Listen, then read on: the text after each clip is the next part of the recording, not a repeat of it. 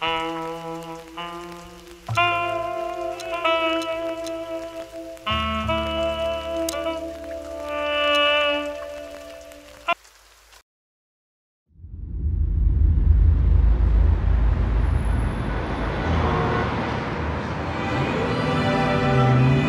ran out to get a pack of cigarettes, but I left my wallet at home.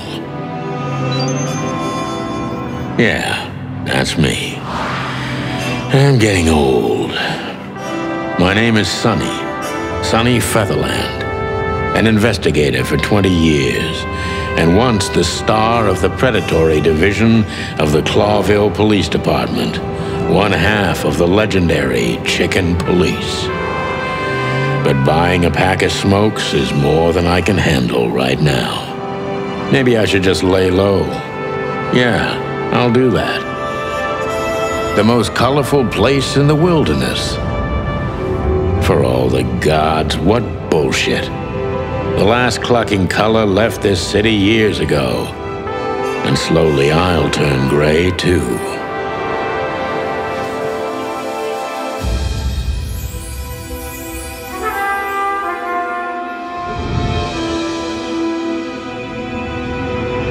Still, what do I expect? We're living in a vast experiment and don't even notice that everything got clucked up a long time ago. We believe in this wonderland of peaceful coexistence. Wolves and sheep, chickens and hounds. Yeah, sure, why not?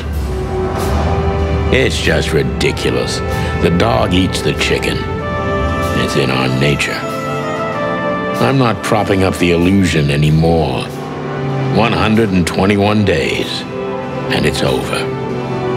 Retirement.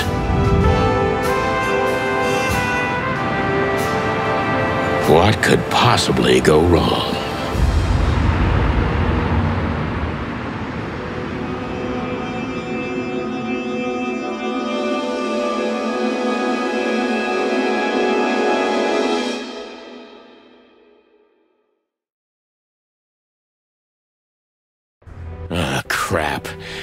Office lock is a piece of shit if a dame can pick it. She stood in the darkness. The light painted stripes on her body. It whispered secret little things that were never there in the first place. But she was no zebra. Reality was just a light switch away. Elizabeth or Charlotte? I was sure she'd have a sophisticated sounding name.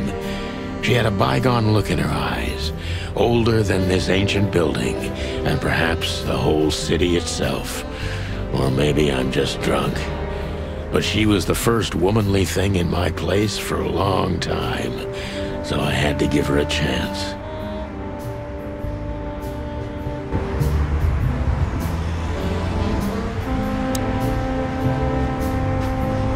My wallet and my badge.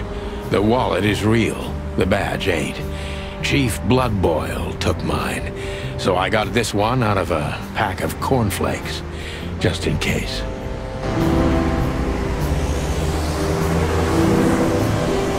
My last cigarette. You're lucky I don't have a light, pal. She doesn't seem so dangerous that I need to grab my gun, but you never know.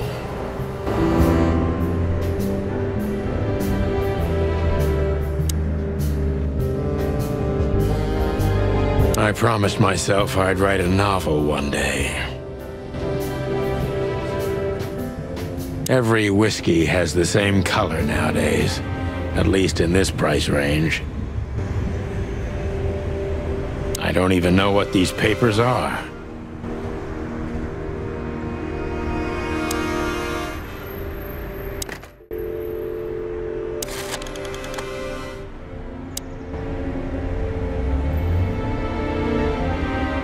wanted to travel the world when I was a kid, but I think I'm going to end up dead in here whether I like it or not. Behind that door lies the kingdom of dirty clothes, cigarette butts, and empty bottles.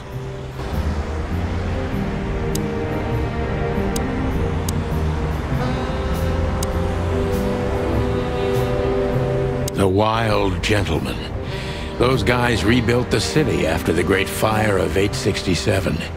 My heroes when I was a little chick. I'm starting to think they should have left Clawville as it was, burned to the ground. We used to be star cops a few years ago. Tabloid press, radio interviews, and even a book series. I don't miss those days. Of course, Marty, my old partner, would disagree. He just loved the spotlight. This is... Uh, this is one of the most beautiful memories from my old life, before Molly left me and took our daughter. The good things in life don't last long. The best ones always leave first. I saw that in the window of a shoe store. I never understood it, or what it had to do with shoes. M.B. Davis, the eternal king of jazz. The photo is from the days of jazz prohibition. I only heard the old man live one time, but I'll never forget that night. And not only because I woke up at the harbor without my gun, my badge, and my pants.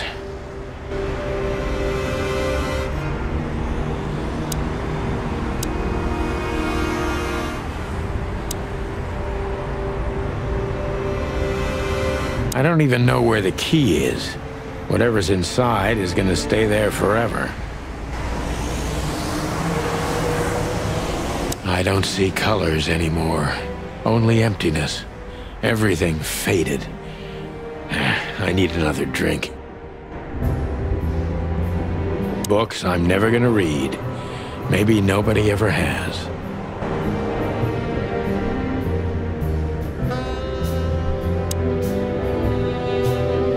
Who is this dame, anyway? And what the cluck is she doing in my apartment on New Year's Eve? Let me introduce myself. My name is Deborah, Miss Deborah Ibanez. You're mistaken, ma'am. Oh, really? Please enlighten me, Mr. Featherland. I'm not a private eye. I'd recommend Philip... Oh, I mean, Mr. Philmar Lowe instead of me. He's a nice guy. Believe me, Mr. Featherland, it's not an accident I came to you. Look, miss, I work for the police, and I'm currently on leave. I couldn't accept private commissions even if I wanted to. Not even from a classy dame like you. Am I that easy to read? That's my job. But tell me, since you've invited yourself in, would you like a drink? I don't... I don't usually drink. Well, I've gotta have one. And it'd be rude of me to drink alone. So, maybe some sherry? If you insist. But bourbon, please. Huh. Thank the wild ones. That's all I have. What a coincidence. So come on, spill it from the beginning.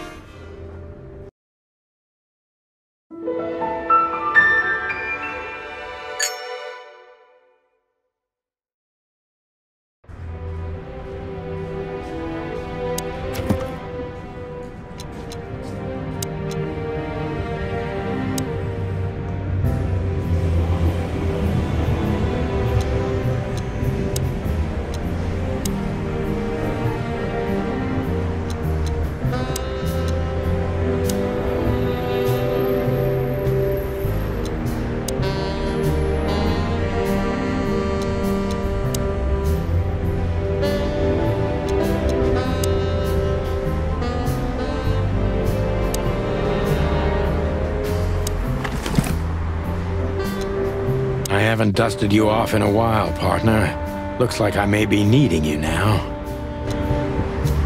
Oh man, I totally get you.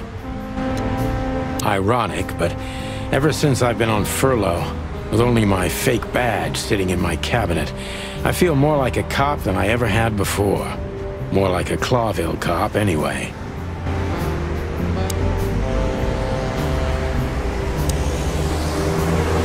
That's better. If I understand correctly, your mistress is receiving threats. What kind of threats, exactly? It's a very strange matter. First, there were letters. Then it came printed on a wine bottle's label, sent as a gift.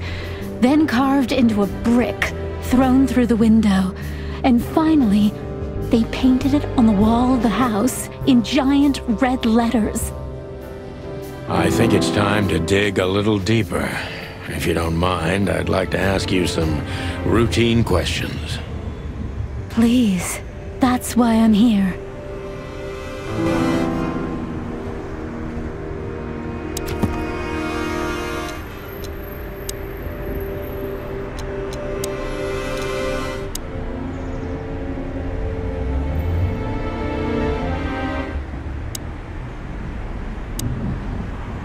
So, this is the part where the interrogation comes. Like in those detective movies. Something like that, Deborah. Yes.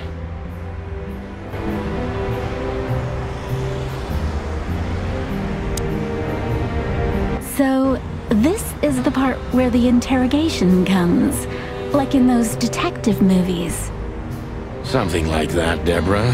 Yes.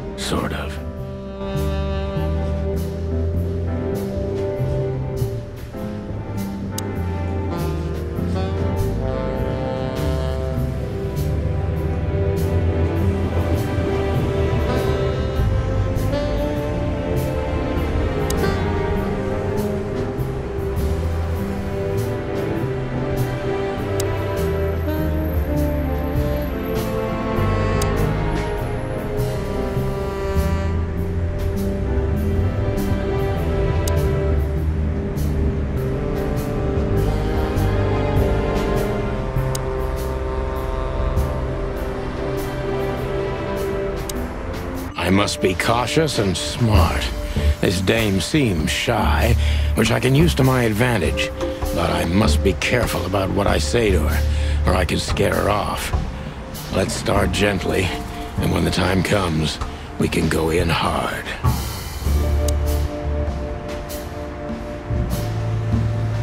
Who exactly are you, ma'am? I'm not somebody important, Mr. Featherland. You're important enough to deal with such a delicate matter, right? I carry out the wishes of my employer, nothing more. This means simple paperwork, most of the time. You've been thrown into deep water, sweetheart. Tell me, can you even swim? Believe me, this is just as unpleasant for me as it is for you, if not even more.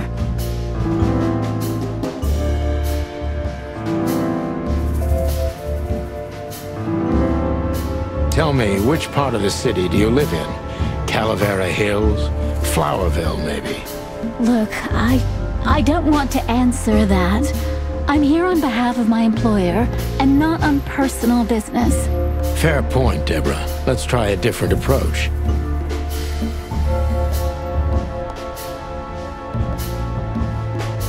Why did you have to visit me this particular evening?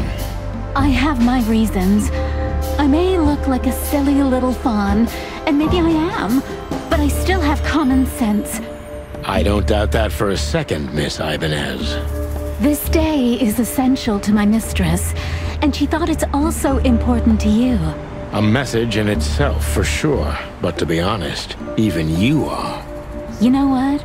I'll just take that as a compliment, even if it wasn't meant as such.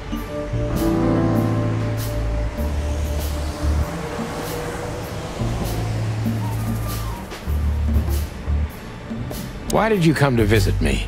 Why not your employer herself? My employer is Miss Natasha Catzenko. She hasn't been leaving her home lately, only if she really has to. How so? Miss Natasha is afraid. She's scared because of those unwanted messages, and everyone knows who she is. So she's that kind of woman. I don't know what you mean. Of course you do, Deborah. Thank you, by the way. We're finally getting somewhere. We avoided the point long enough. Deborah's hiding something, no question. Let's focus on that.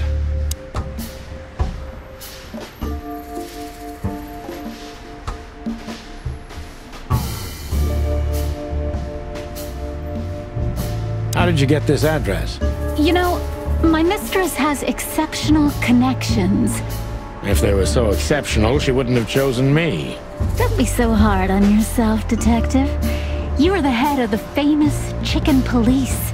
Am I right? Was it a raccoon with a scarred face called Zip who recommended me? He hates me. No, Mr. Featherland. I don't know anyone like that. Lucky for you, Deborah.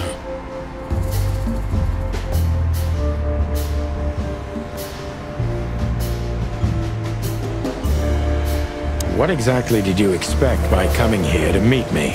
I expected your help, just like my mistress said. Oh, that's very nice. But have you seen this neighborhood? Have you seen this wreck called a hotel? Who were you hoping to find in a place like this? Someone reliable. Well, I am reliable. And discreet. That's right. And thorough. No question about that. And has a heart of gold. Okay, let's stop it right there.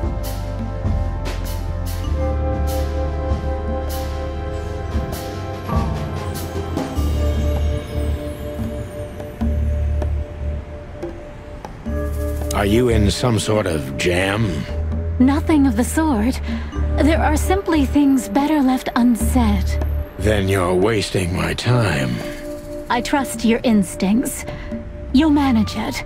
Yeah, and I have no other choice, right? To be honest, no, Mr. Featherland. Not really.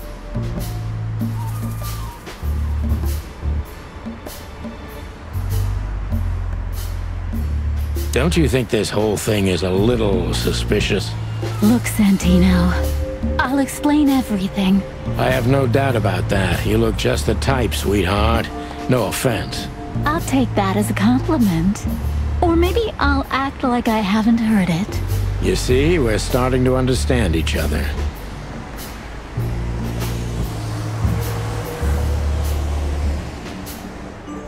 Tell me, Deborah, why should I believe you at all? Because my mistress trusts you. Should that be enough? If you really like what she thinks you are, then yes. Damn, what can I say to that? Look, I didn't mean to back you up against the wall. You have a way with words, sweetheart. Did you ever want to be a cop? No, not for the world. Smart answer. Be honest and tell me what you're so afraid of. You know, Mr. Featherland, my mistress's partner is Hobart Wessler. Or as most people know him, Ibn Wessler, the Kingpin. exactly. Feathery gods, help me. So you get it now. The secrecy. To put it mildly, I think I understand it all. Wessler. This little piece of the puzzle changes everything.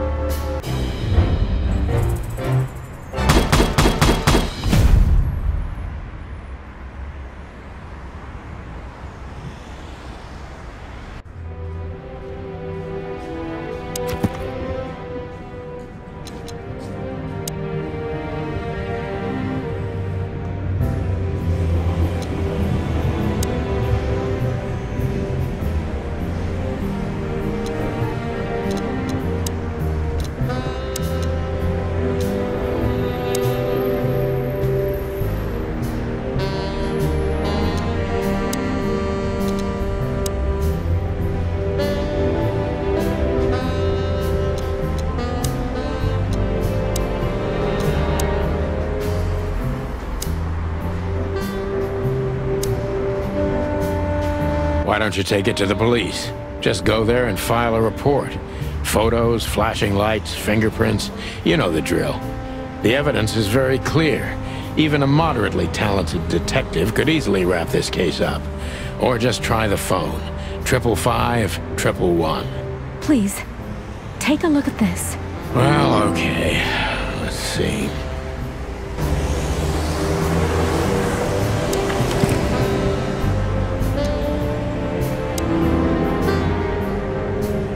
I know Molly very well. Please note this when deciding whether or not to accept my assignment. Miss Ibanez is a trusted friend. Treat her as gentleman. N. I felt like I'd been hit on the back of my head with a blackjack. Reality tilted.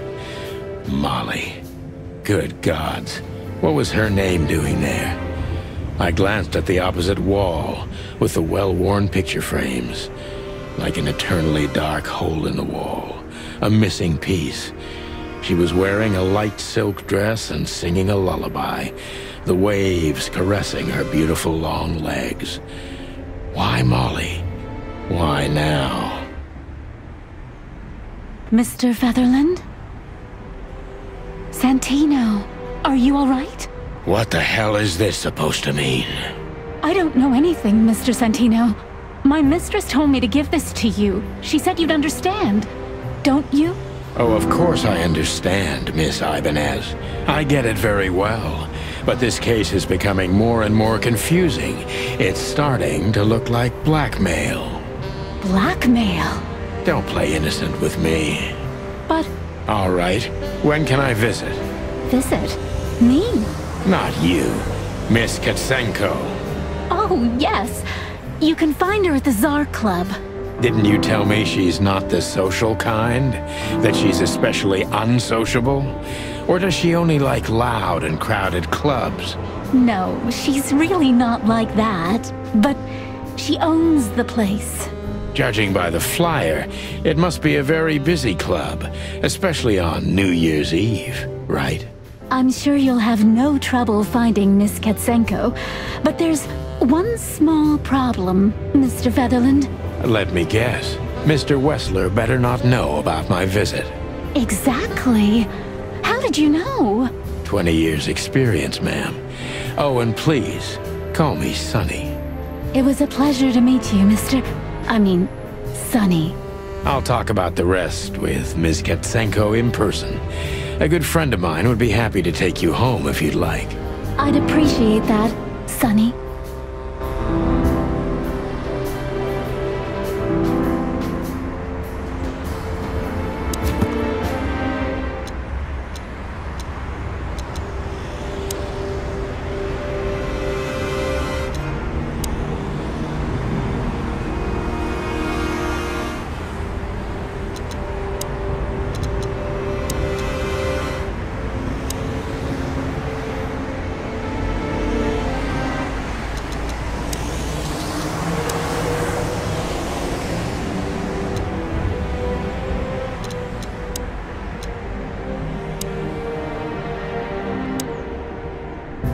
You again, Mr. Feather... I mean, Sonny. Don't mention it, Deborah. I had no other plans for today, except drink. But tell me, do you have a light? I'm sorry, I, I don't smoke. Thought so.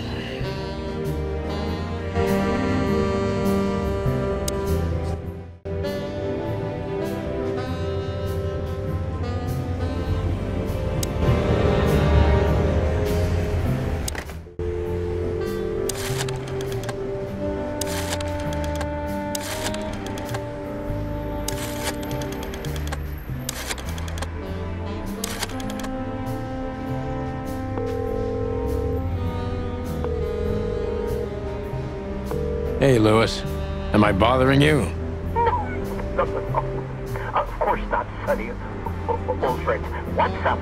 Could you come over? I've got a favor to ask if you're not busy. For you, anything. Just a minute.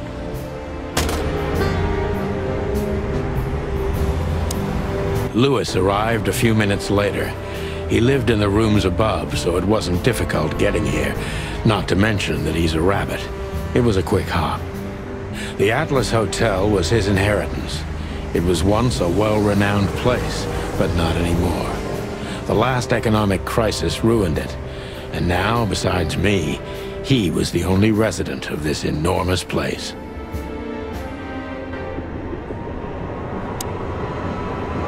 The good old rabbit. I can always count on him, even on New Year's Eve. Could I ask you a few more questions, Deborah? Feel free, Sonny.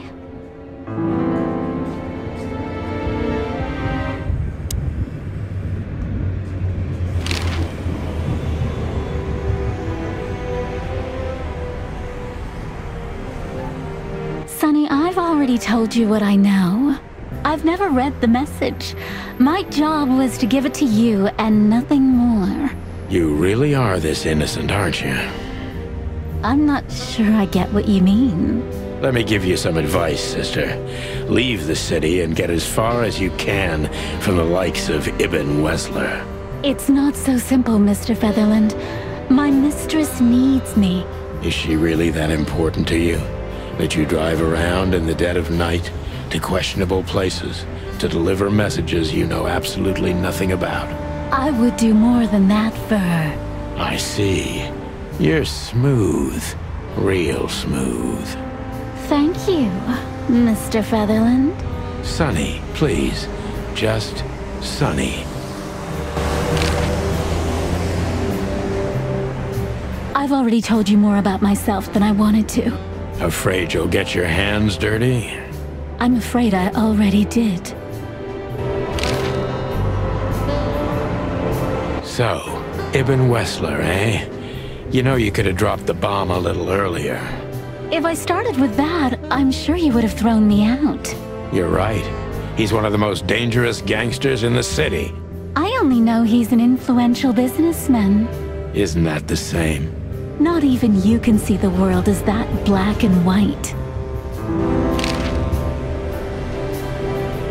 So this Natasha dame. Look, I'm just the messenger.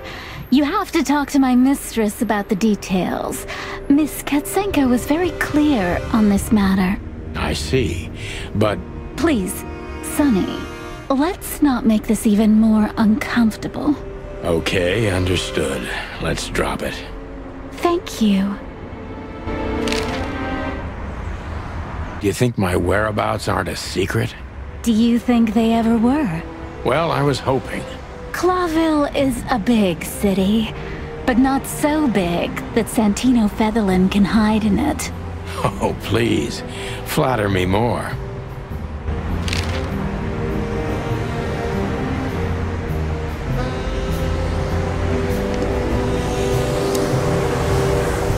Thanks for being so quick, Lewis. Can you drive Miss Ibanez home? I have some things to take care of. Of course, Sonny. you know anything for you. Thank you for being so considerate, Sonny. I appreciate it. Don't mention it. Goodbye, then. So long, Deborah. Before I visit the club, I have to take a detour. I've got a feeling that this case isn't going to be a one-man job. And there's only one bird in this city I can trust. My ex-partner, Marty. He's going to be at the station. I can only hope he'll be willing to talk to me.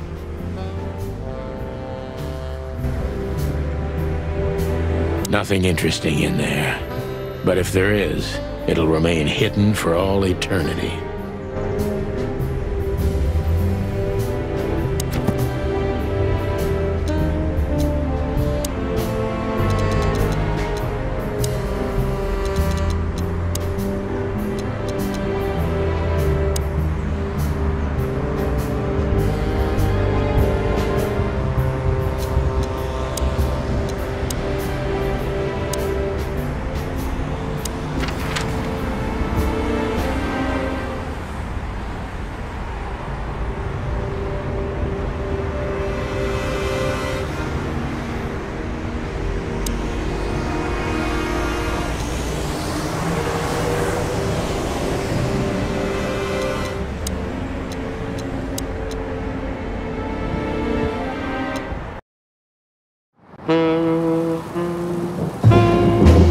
New Year's Eve.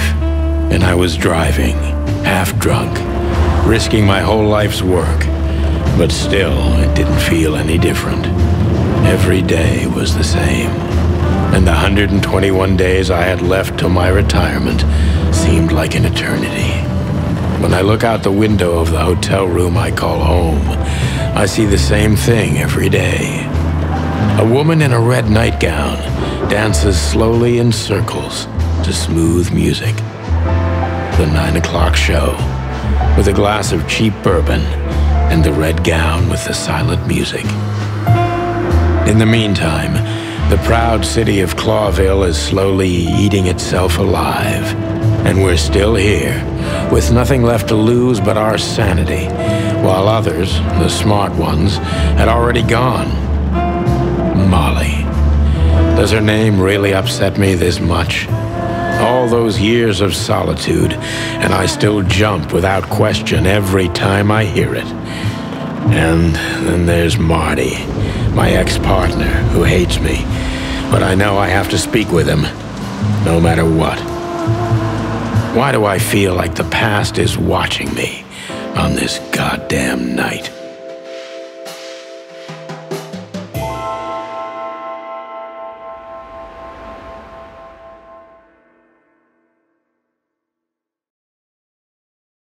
I knew where to find Marty. At the station, we'd always draw straws about holiday duty. Marty never joined in. He always took the New Year's Eve shift, even though he had someone to go home to. I understood. Ten years ago, we survived the night the press called the Bloody New Year. Forgotten by Clawville, but not by us. We both left parts of ourselves behind that night.